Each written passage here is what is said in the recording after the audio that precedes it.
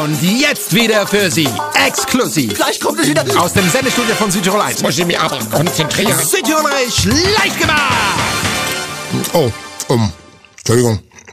Ich hab gerade eine Kleinigkeit gegessen. Eine kleine Stolle mit Butteraufstrich vom Muttern. Aber, aber wir wenden uns wieder dem Ernst des Lebens zu. Mit unserem nächsten Übungsblock.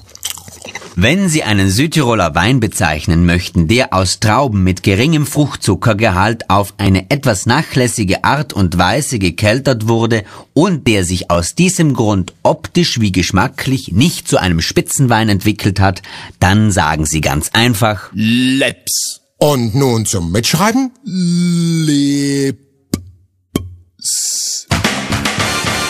Und nun wieder ein Fachbegriff aus dem Handwerksbereich. Wir sehen, die Südtiroler Handwerker sind sehr beschäftigt.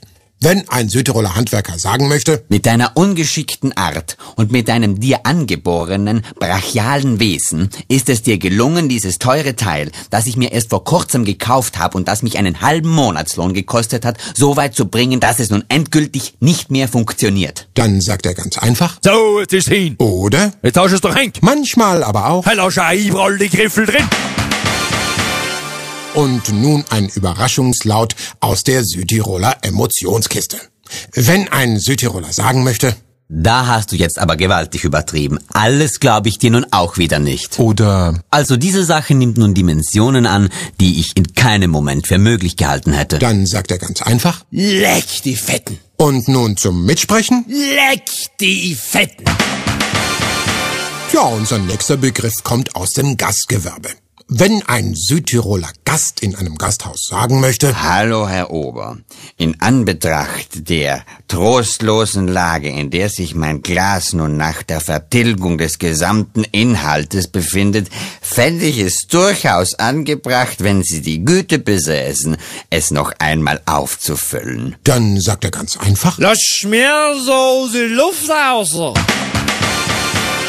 Womit wir wieder beim letzten Begriff dieses Übungsblocks angelangt wären.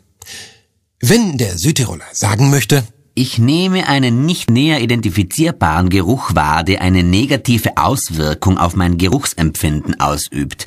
Um nicht zu sagen, hier stinkt's. dann sagt er ganz einfach, Du tut's Diebelen. oder Du tut's Schmarkeln. und Magelst du Muffel an. hören Sie auch morgen wieder rein, wenn Sie weiterhin sagen wollen. Ja, na, du zahlst das Fenster auf. Da haben wir sie alles denken, Zierfungo.